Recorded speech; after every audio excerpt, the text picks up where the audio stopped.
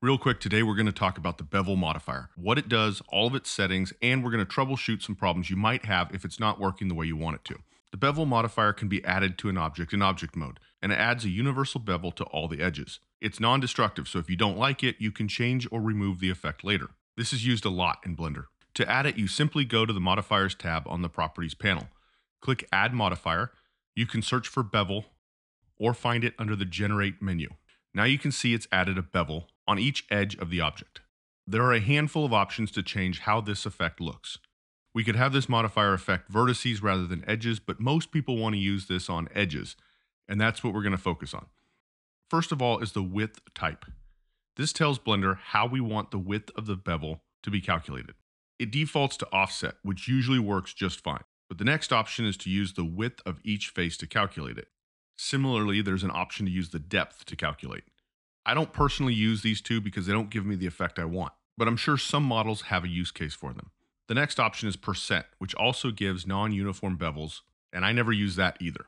I do often prefer to use the final width type of absolute. This ensures the bevel width is exactly the same on all the edges. The next setting is the amount. This makes the bevel larger or smaller, and it's pretty simple to figure out. The next is segments. By default, it's 1. This means the bevel is using one segment or one flat piece to round out the edges. One piece doesn't make the edges very round, so increasing this can make them much smoother, but at the cost of using more memory and having more physical geometry if we later apply this modifier. Applying a modifier means to make it permanent. The next setting is limit method. We may not want every single edge beveled, and this gives us options on how to control which ones are beveled and which ones are not. The default is angle, and there's a default angle of 30 degrees. This means only geometry that connects at an angle higher than 30 degrees will be beveled. We see on this model there are some 90 degree angles, and there are some that are smaller than 90 degrees.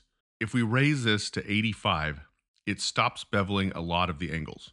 This next part is super important, but I would like to ask for a like on the video if you're still watching. It means a ton to me. Thank you. The next option is weight. This gives us a lot of manual control to go in and change how much bevel different edges should have. Here's how it works. I choose weight, and the beveling pretty much goes away. We can go into edit mode open the sidebar menu by pressing N on the keyboard and go to the item tab. See down here we have bevel weight and it's set to zero. This can be adjusted for whatever edges we have selected. So if I press A in edge select mode to select every edge in the object, I can move this weight up to one. Now the bevel is being fully applied to all the edges like before. In edit mode, these edges have turned blue to show that they have a bevel weight assigned. In some cases, this can make selecting edges a little bit harder because they're harder to see. We could turn off the modifier while in edit mode by going over to this icon and unselecting it. Now the geometry will look normal in edit mode, but we'll see the modifier's effect in object mode. It'll still show up in object mode and it'll still show up if you render. Let's say we did not want the bevel to affect the ring of edges where this top part extrudes from the bottom part. Or maybe we didn't want it to affect it as much. We could select just those edges then turn the edge weight of those edges down. I'll turn on visibility again. Now the bevel modifier is beveling edges based on their assigned weights. This gives us a lot of fine control over the modifier, and it's all non-destructive still unless we apply the modifier. So that's the weight limit method. There's another one called vertex group, which works similarly, but I never use it. I think the weight option is the more modern and easier way of doing this.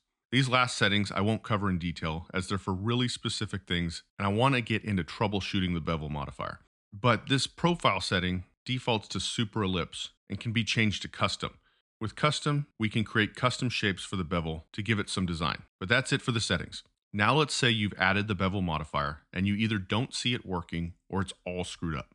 It happens, and it's usually because of one of three reasons. Two of these things are really easy to fix. The third could be a lot more challenging. I've added a different model with a problem on it. If we add a bevel modifier and get something like this, where the edges get all screwed up, it's probably a problem with our normals. Usually this is a really simple fix. What happened is our normals, specifically our face orientation, has gotten all messed up. Every face in Blender has a front side and a back side, and sometimes when we're modeling, Blender has to guess which one is which.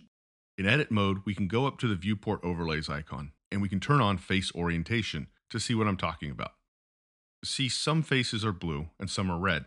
Blue are the outside faces and red are the inside. But we've got some of that screwed up.